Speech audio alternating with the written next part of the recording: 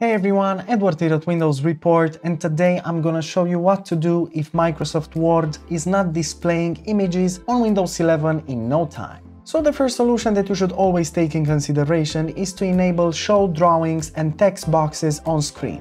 Now to do this, open up your Word application and in here click on the File tab and afterwards click on Options on the left pane. Now what you have to do in here is head over to the Advanced tab on the left panel and then scroll way down until you will find the Show Document Content and make sure that the box next to Show Drawings and Text Boxes on screen is ticked on or checked in, depending on how you name it. Now click on OK and save the changes. Moving on, another useful solution is to enable print drawings created in Word.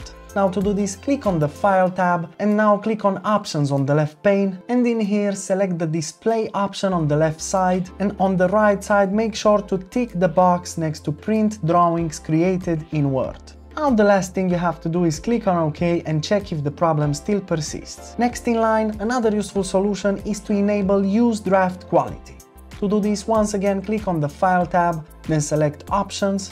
Now on the left pane click on Advanced and then on the right side scroll down until you find the Print menu and the last thing you have to do is unmark the Use Draft Quality box. So if it's ticked on, make sure to untick it, then click on OK to save the changes. And lastly, another useful solution is to disable Picture Placeholders options.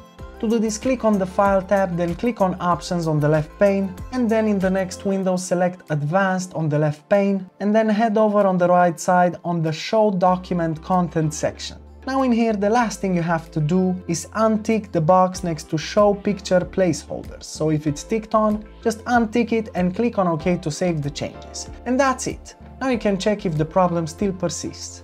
Super simple, isn't it? Of course, if this video helped you, make sure to hit the like button and subscribe to our channel for more quality content. Thanks for watching and have a nice day.